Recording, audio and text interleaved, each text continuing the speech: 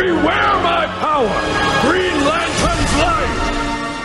Greetings Multiverse! We've just had the amazing first picture of Wayne T. Carr as John Stewart's Green Lantern, as he would have appeared in Justice League thanks to Zack Snyder. We've had artwork, behind the scenes shots, and now a full photo of the actor in costume, which suggests something big. So let's run down everything we know about John Stewart's scene in Zack Snyder's Justice League, and what his role would have been in Justice League 2 and 3. The final scene of Zack Snyder's Justice League, if you didn't know, features Ben Affleck's Bruce Wayne meeting Harry Lennix's Martian Manhunter for the first time, with J'onn J'onzz promising to support the Justice League in the coming battle with Darkseid. It's a cool scene, but it's not what Zack Snyder originally planned. Instead of Martian Manhunter, Batman was supposed to meet John Stewart, who would pledge the support of the Green Lantern Corps when Darkseid invaded. Thanks to a Twitter post from concept artist Jojo Aguilar, who worked with Snyder on the movie, we got a good look at what John Stewart was supposed to look like in the scene. Snyder then confirmed that the scene was already filmed, and actor Wayne T. Carr was the actor playing Green Lantern. Carr then showed a behind the scenes look at the filming of the scene, which was shot in green screen, set up in Zack Snyder's own driveway. Now at last we finally have our first shot from the Green Lantern scene, showing Wayne Carr in full costume as John Stewart. Zack Snyder was asked about the missing Justice League scene in a Los Angeles Q&A to promote Army of the Dead, and he pulled out his phone and showed the photo to the audience. The photo is small, but it clearly shows Carr as Green Lantern in the final scene of Zack Snyder's Justice League. Beyond that, the photo also reveals that not only was the Green Lantern scene filmed, the digital effects were completed too, as the Lantern uniform is all CGI. In other words, there is no reason why the scene couldn't be released right now, other than the stubbornness of Warner Brothers. As for Green Lantern's role in Justice League 2 and 3, we already know a little from the storyboards which showed Green Lantern arriving in the Nightmare timeline in Justice League 3 and assisting Batman and the remaining heroes to fight Darkseid. However, it was assumed that this would be Hal Jordan, based on Jim Lee's sketches and the storyboards, but in an interview with Uproxx, Snyder says that John Stewart was always intended as the lead Green Lantern of his series. According to Snyder, Stewart would be both scout and cheerleader for the League, plus would get the Green Lantern Corps mobilised to fight Darkseid in Justice League 3's final battle. It's unknown yet if we will ever get to see the cut John Stewart scene from Zack Snyder's Justice League. However, we know it exists, it's been filmed, and the effects have been completed. So it's surely only a matter of time. The question is, will Warner Brothers do the right thing for once and voluntarily release it, or will it get leaked?